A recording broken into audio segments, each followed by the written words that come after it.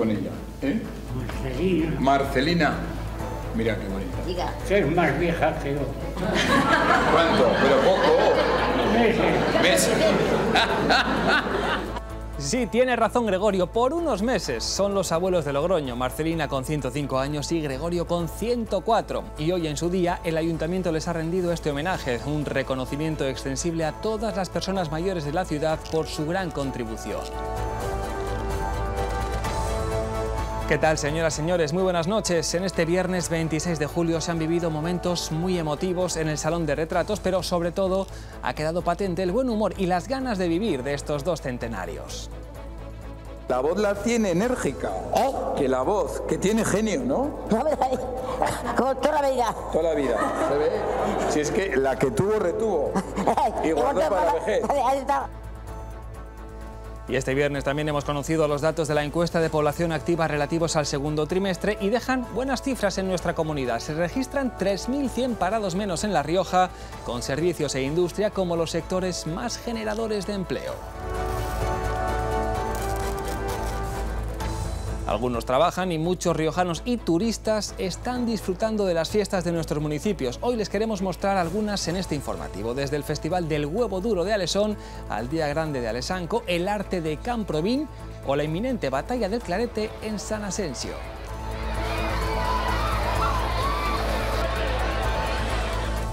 Y en deportes, Fernando Magaldi está a punto de cumplir su reto. De hecho, mañana sábado el corredor completará los 1.010 kilómetros que se propuso recorrer hace 15 días y que le han llevado por toda la comunidad. Un auténtico desafío sobre el asfalto riojano con el que está dando visibilidad a la discapacidad y a las enfermedades raras. La gente está pendiente de cómo acabo, eh, del día siguiente por dónde voy. Veo que, que va a marcar un antes y un después este reto con, con todo lo que he hecho hasta ahora.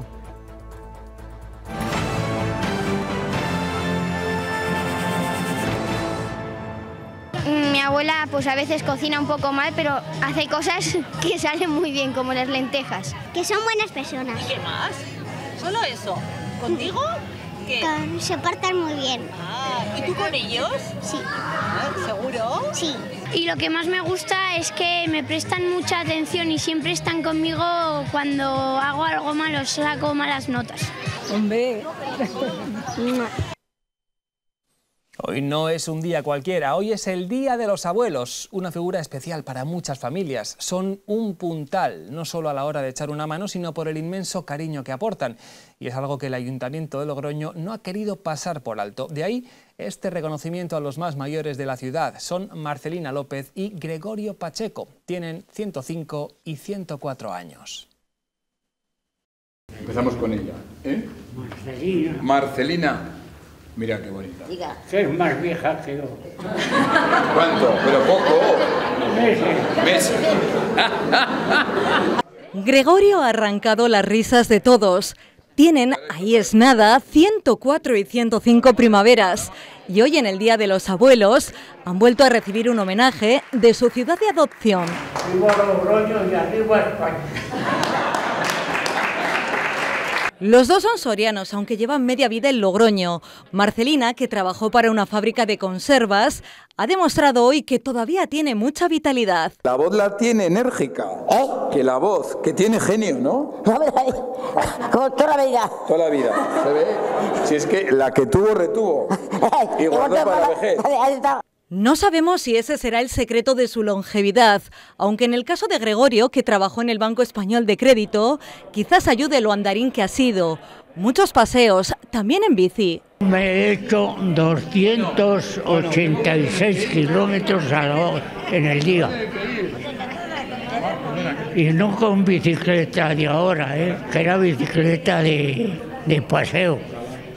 Una Fénix que pesaba más que yo. Este no ha sido un año fácil, de ahí que haya querido dar las gracias. Al personal del 112, que es muy amable. Hoy el reconocimiento es para ellos, para todos los mayores de la ciudad, por su gran contribución. Larga vida a vosotros dos, a Marcelina, a Gregorio, y larga vida, como bien has dicho tú, a esta bonita ciudad que es Logroño. Que así sea y que el año que viene volvamos a celebrarlo juntos. El año que viene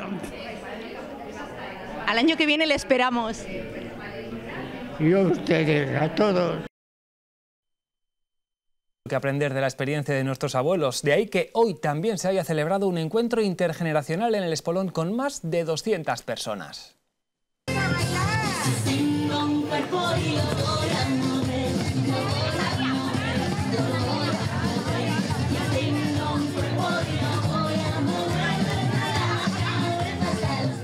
Así, con bailes, ha comenzado esta jornada en la que han participado los niños de cuatro ludotecas de la ciudad, el desván, el escondite, la oca y la atalaya. Durante dos horas han compartido multitud de juegos con sus abuelos, una experiencia que seguro no olvidarán. ¿Sería el mundo igual sin abuelos? ¿Qué te parece? No. ¿Por qué? Porque, a ver, sin, los, sin, los, sin mis abuelos no hubieran nacido ni mis padres, y sin mis padres no hubiera nacido yo. Que nos quieren mucho y tampoco sería igual si no estuvieran. Como no habéis podido venir porque no vivís aquí, desde aquí os digo feliz día de los abuelos, os quiero mucho. Más asuntos. Descenso en el número de parados en La Rioja. Según los datos de la encuesta de población activa publicados hoy, en nuestra comunidad hay 14.700 parados. Son 3.100 menos que el trimestre previo y la tasa de desempleo se queda así en el 9,14% en nuestra región. Por sectores, el paro bajó sobre todo en servicios e industria, mientras que se incrementó en agricultura. Según la EPA, en total en La Rioja hay 121.100 personas asalariadas, la mayoría con contrato indefinido. Cuando se ha cumplido ya un año de las pasadas elecciones generales, el Partido Socialista Riojano hace balance.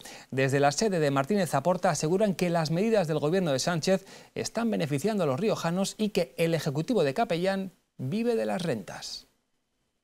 Fue el 23J, hace poco más de un año, cuando España volvió a las urnas en unas elecciones generales que llevaron de nuevo a Sánchez a la presidencia del gobierno, pero con un Senado con mayoría del Partido Popular. Porque se ha convertido al final en una mayoría inútil, y lo decía antes, es inútil porque no ha supuesto, por ejemplo, que se paralice algo que a ellos les parece tremendo, que es la ley de amnistía. Bueno, la ley de amnistía que se ha discutido, negociado, que es absolutamente legítima, legal, bueno, ha seguido para adelante. ¿Y qué nos encontramos? Una mejor convivencia en el país una mejor convivencia en España. Y es que hoy el PSOE ha hecho balance de este año, también en clave regional. Y lo estamos viendo ahora en el gobierno de La Rioja, que es un gobierno que está viviendo de las rentas no solo de lo que hicimos en el gobierno mm, eh, la legislatura pasada, sino también del gobierno de España. Y si no, como vemos, bueno, todas las obras de la Ronda Sur, esta nueva frecuencia de trenes que tendremos, pero también esta renovación de la vía para tener el primer tramo de alta velocidad, o por ejemplo la renovación de los regadíos, 77 millones de euros en, en regadíos. Todo esto es vivir de las rentas y vivir del Gobierno de España. Los socialistas insisten en que las medidas del Gobierno socialista están beneficiando a la mayoría de los riojanos. En esa comparecencia y a preguntas de los periodistas, Concha Andreu se ha referido a la celebración del próximo Congreso Regional del PSOE Riojano en el que se elegirá el nuevo secretario general. Asegura que será posterior al Congreso Federal y que todavía hay tiempo hasta diciembre de 2025. Respecto del Congreso en La Rioja, lo mismo que, dije eh, hace poquito, eh, será un Congreso ordinario que será posterior al federal. No hay novedad en eso. Hasta diciembre de 2025. Hasta diciembre de 2025, sí. Y en ese sentido no hay ningún tipo de avance. Estamos en una situación de trabajo absolutamente compartido y, seguimos eh, con un partido fuerte y de consenso. Eso es lo importante.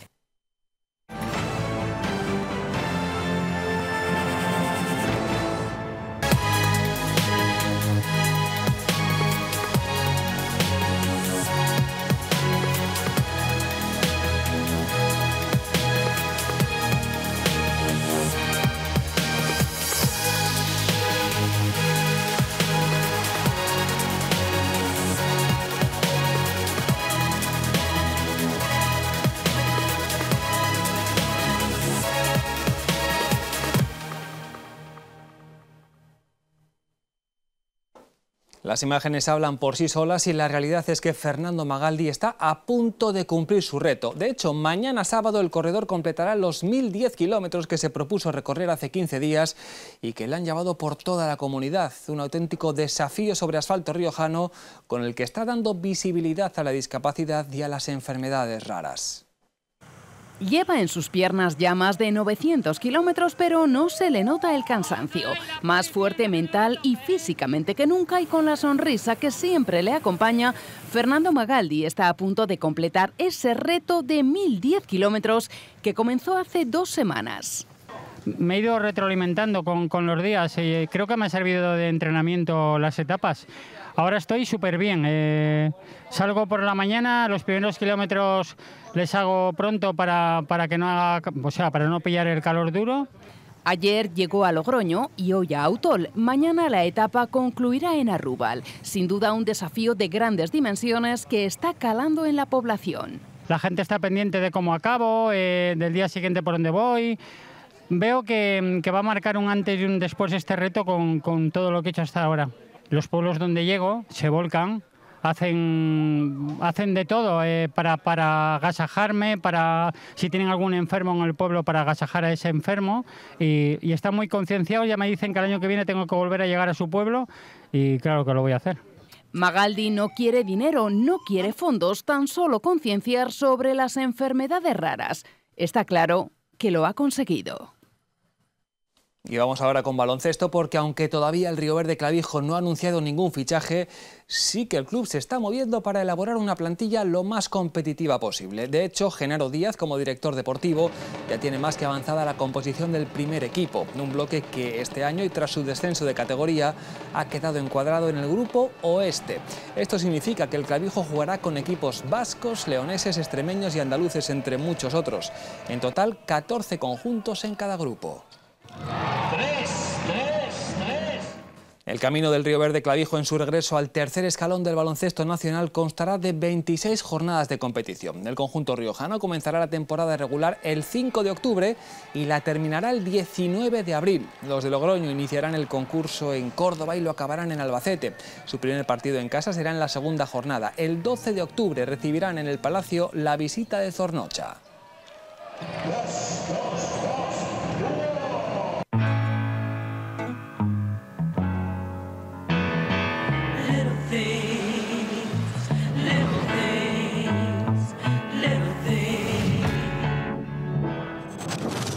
It's the little things that mean an awful lot.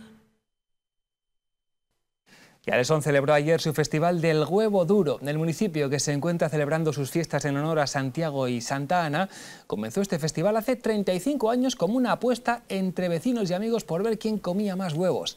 Ahora convertido en toda una tradición, se celebra cada día de Santiago. En medio de sus fiestas patronales en honor a Santiago y Santa Ana, los huevos duros se convierten en los verdaderos protagonistas de Alesón. Un festival que comenzó hace 35 años como una apuesta entre amigos. Pues la verdad que fue un concurso de a ver quién se comía más huevos, de cocidos, ¿eh? estamos hablando de huevos cocidos. Y fue una, apuesta de, pues yo me como más, y, ya se cogió la tradición de que el día de Santiago se hacía una apuesta a ver quién se comía más huevos cocidos. Y empezó, empezó, pero te estoy comentando, hace 37 años, parece que es el festival el, el, el año 37. Con el paso del tiempo se ha convertido en toda una degustación popular en la que los huevos no se comen solos. Bueno, y lo acompañamos con jamón, ¿eh? no solamente es el huevo, pero lo apoyamos el, el, los huevos cocidos con un bocadito de jamón, que la gente es una degustación que lleva ya pues 35 años o 37 y tradición y es tradición todos los años. Unas fiestas que no son solo un reclamo turístico para los vecinos, sino también para los visitantes. Maravillosamente bien y además es que es un pueblo muy acogedor, la gente majísima y es que hacen muchísimas actividades, mucho, mucho. Está bien preparado lo del frontón, las piscinas, los merenderos, bien, ¿eh? todo el entorno de la iglesia está precioso y está muy bien. Es un pueblo acogedor, bonito, sí, para ver. Muy queridos, muy acogedores, muy cariñosos. Ahora en la, estuvimos en la misa y todo el mundo nos saludaba como si nos conocieran. Las fiestas de Alesón se alargarán hasta mañana, siendo hoy, 26 de julio, su día grande en honor a Santa Ana. Y Alesanco está también en plena celebración de sus fiestas patronales. Desde el miércoles hasta mañana sábado sus calles se llenan de música y alegría con una serie de actos y eventos diseñados para el disfrute de todos los vecinos y visitantes. Ayer se celebró su Día Grande en honor a Santiago en una jornada muy emocionante. Todo el pueblo reunido para celebrar el Día de Santiago en el Día Grande de las fiestas de Alesanco. Y es que las fiestas que comenzaron el miércoles continúan uniendo a su población. Hoy se celebra el Día de Santiago, el día, el día grande. Entonces, pues a ver, esperar a ver la procesión un poquito, tomando unos pinchitos y pasándonoslo a ver lo mejor que podamos. Y es que no hay vecino que no espere con ganas las festividades y que no las disfrute como si fuera la primera vez. Una maravilla, unas fiestas, vamos, espléndidas. Muy entretenidas, muy bien. Empezaron ayer, el cohete estuvo muy animadito y estuvo muy bien. Bueno, pues con, con alegría, porque como los que somos de aquí parece que las vives con alegría, sí. Y no es para menos. Y es que el programa de fiestas cuenta con actividades para todos los gustos y todas las edades. Pues ayer hubo choricillo a las 8. Hoy hay ¿cómo se llaman? Hoy hay jotas, ahora después de misa, y mañana hay otra degustación, procesiones, danzas, bueno, de todo un poco. Un espíritu que inunda los corazones de todos los habitantes de Alesanco que invitan a todo el mundo a visitar estas fiestas. Que vendían para que venía lo que es la fiesta del pueblo, para que venía la gente que hay aquí, lo que es la fiesta de Alesanco, del pueblo, Santiago. Las fiestas en honor a Santiago Apóstol en Alesanco continuarán hasta mañana sábado 27 de julio. Vamos ahora hasta Camprovin, que se encuentra inmerso en una nueva edición de su festival Camprovinarte. Las calles del municipio se convierten en todo un museo vivo al aire libre en el que los artistas desarrollarán sus obras hasta este domingo. Una iniciativa que ya va por su octava edición y que muestra la fusión entre el arte contemporáneo y el entorno rural. El municipio de Camprovín ha convertido el arte y la pintura en las protagonistas de sus calles. En esta octava edición, que comenzó el pasado 22 de julio, cuatro artistas son los encargados de dar vida a sus calles. Me parece increíble, está, es fantástico. No había venido nunca a Camprovín, la verdad es la primera vez que estoy en este pueblo y, y sí, yo creo que deberían tener, tomar ejemplo muchos otros pueblos porque le están sacando un partido chulísimo, es una pasada, darte una vuelta por el pueblo, ver todos los murales que tienen, no sé, me lo habían contado, pero haber venido aquí y verlo en primera persona, muy guay, vaya. Este año, las obras de estos cuatro artistas se sumarán a las ya 40 que hay en el municipio desde que comenzó el festival, pero los artistas no son los únicos que participan. Y otra cosa que es muy chula, que vi como la gente del pueblo pues también eh, participan del festival y, y bueno, pues hacen así como escenificaciones de teatro, tanto los niños, las, las personas así un poquito mayores, eh, no sé, todo el mundo. Y, y, no sé, y eso está muy guay, como todo el mundo participa, la verdad. El encuentro artístico se alargará hasta este domingo y cuenta con obras como las de Ana y Paula, que reflexionan sobre la vida humana. Bueno, eh, lo que queríamos hacer era un homenaje al tema del dibujo y el arte en sí, ya que Camprovín es un pueblo muy artístico, como habéis podido comprobar. Y bueno, quisimos hacer una reflexión sobre lo que es el dibujo a lo largo de la vida humana. Nosotras normalmente hacemos talleres con niños y con personas mayores y un día revisando material que teníamos vimos que los garabatos de los niños se parecían mucho a la caligrafía de la, de la gente mayor, porque al final por temas de pues, incapacidad, olvido, que ya no, no pueden bien, al final acaban garabateando otra vez. Este verano Casa la Reina vuelve a convertirse en la capital de la música clásica. Del 16 al 20 de agosto, el festival promete cuatro emocionantes días de la mano de numerosos artistas. Este evento, que ya es un clásico en el calendario cultural riojano, va a ofrecer una gran experiencia musical por un precio muy asequible. El Festival Clásica vuelve a traer las miradas de los amantes de la música a Casa la Reina. Del 16 al 20 de agosto, la novena edición de este evento reunirá a cinco grupos de música clásica de diferentes épocas, desde medieval hasta moderna y contemporánea. Todo el mundo que quiera venir a, un concierto de música clásica de esta calidad, pues eh, es una apuesta yo creo también aquí de, institucional del gobierno y de la alcaldía eh, del, del, ayuntamiento de Casa la Reina de que sean que sean bonos sean precios populares. Hay un bono de 25 euros para los cinco conciertos y luego ya cada concierto específicamente son 7 euros. Además de música a un precio popular, este festival nos ofrece un gran acompañamiento.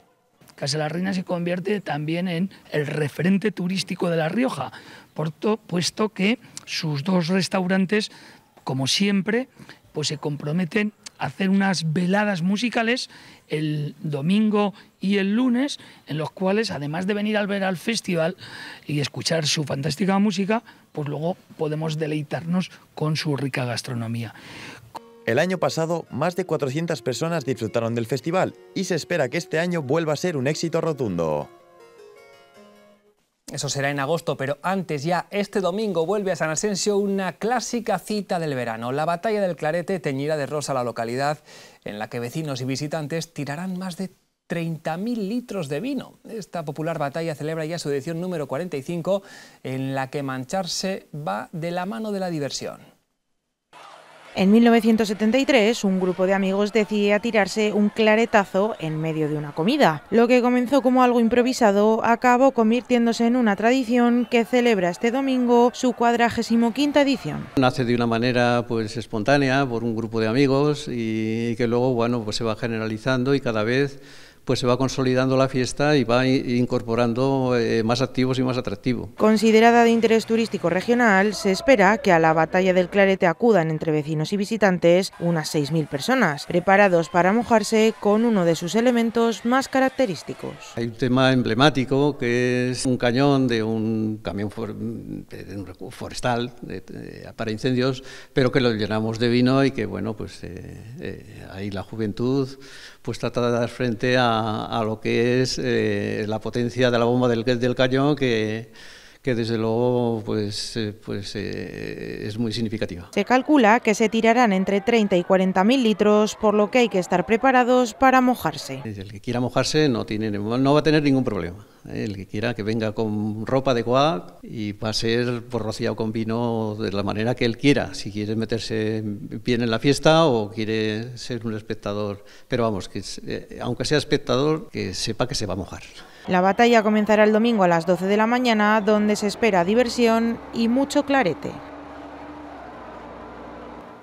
El escultor Félix Reyes ha inaugurado esta mañana en el CCR su exposición Lugares de Encuentro. El conjunto de esculturas de madera es una selección de la obra realizada por el escultor entre los años 1997 y 2000. Esta exposición conmemora los 50 años de la obra escultórica en Logroño de este canario afincado en La Rioja desde hace más de 60 años el lugar de encuentro se convierte en el pasado y en el presente. En el pasado son estas figuras son compañeros míos de barrio y de, paseos y de bailes y de guateques. Y hoy estamos reunidos el pasado con el presente, que estáis vosotros todos participando. Vosotros sin saberlo estáis participando en este momento de la exposición, sois parte de ella, en, el concepto y en forma. Hemos elegido precisamente para despedirnos esta muestra, Lugares de Encuentro, instalada en el Ágora del Centro Cultural del Rioja. Las 12 esculturas talladas en madera por el escultor Félix Reyes sirven como encuentro, lo han oído, entre el pasado y el presente. Se podrá visitar hasta el 30 de septiembre.